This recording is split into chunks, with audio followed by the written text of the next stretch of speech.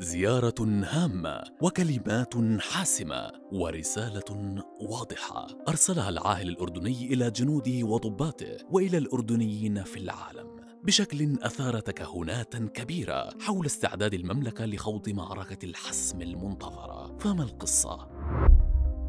على مدار الأيام الماضية تعرضت حدود المملكة الأردنية لهجمة شرسة من تجار الظلام ومهربي الممنوعات ممن يقومون بمحاولات متواصلة لاختراق حدود المملكة لكن تتصدى لهم القوات المسلحة الأردنية بكل بسالة وشجاعة. لكن توتر الموقف على حدود المملكة سواء في الشرق أو الشمال كان محط اهتمام ومتابعة العاهل الأردني الملك عبد الله الثاني الذي قرر أن يقوم بزيارة عاجلة إلى جنوده ويرسل إليهم رسالة حاسمة. العاهل الأردني زار قيادة المنطقة العسكرية الشرقية حيث حط طائرته المروحية في المقر. وسط اصطفاف جنود المنطقة الذين كانوا في انتظار ملكهم بكل جاهزية واستعداد. ملك الأردن كان حريصا خلال زيارته تلك على توجيه عدد من الرسائل الهامة. أكد فيها لجنود المنطقة الشرقية أنهم فوارس الوطن وسياجه المنيع معبرا عن ثقته المطلقة هو وكل الأردنيين فيهم.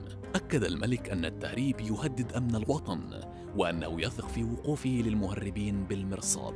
ووجه رسالة واضحة أكد فيها أن الأردن سد منيع ولا تهاون في الرد وبالقوة. الملك قال لجنوده أيضا بدي المعنوية تضلها عالية أي شيء مطلوب منا أنا معكم في الأمام.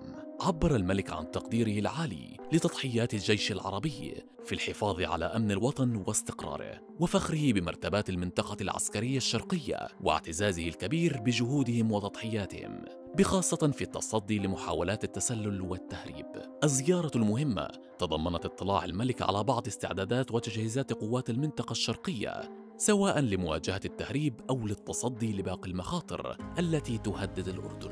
وأكد الملك عبد الله الثاني على ضرورة الاستمرار بمواكبة وسائل التكنولوجيا الحديثة لتوظيفها بشكل مناسب في عمل تشكيلات ووحدات القوات المسلحة كافة. ومن جانبه أكد قائد المنطقة العسكرية الشرقية اللواء الركن الحنيطي جاهزية وحدات المنطقة القتالية والمعنويات العالية التي تتمتع بها مشيرا إلى المهام والواجبات العملياتية والتدريبية اللوجستية والخطط المستقبلية للتطوير والتحديث في مختلف المجالات. وشدد على استمرار القيادة العامة بتطوير تشكيلات القوات المسلحة ووحداتها وتزويدها بمختلف المعدات التي تمكنها من القيام بواجباتها العملياتية وبما ينسجم مع طبيعة التهديدات في المنطقة وعلى جميع المستويات. وفي نهاية الزيارة ودع جنود المنطقة الشرقية ملكهم مرددين بالروح بالدم. نفديك يا أبو حسين.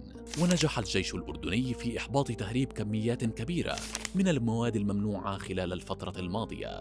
أغلبها كان قادما من الأراضي السورية إلى الأراضي الأردنية. ونجحت قوات حرس الحدود وبالتنسيق مع الأجهزة الأمنية العسكرية الأخرى في رصد وتتبع العديد من عمليات التهريب من خلال المراقبات الأمامية والتي أظهرت محاولة مجموعات من المهربين اجتياز الحدود بطريقة غير مشروعة من الأراضي السورية إلى الأراضي الأردنية. وفي تلك المحاولات كان يتم تحريك دوريات رد الفعل السريع حيث تقوم بتطبيق قواعد الاشتباك بالرمايه المباشرة عليهم. فهل تؤشر الزيارة على استعداد الجيش الأردني لخوض المعركة الحاسمة مع المهربين؟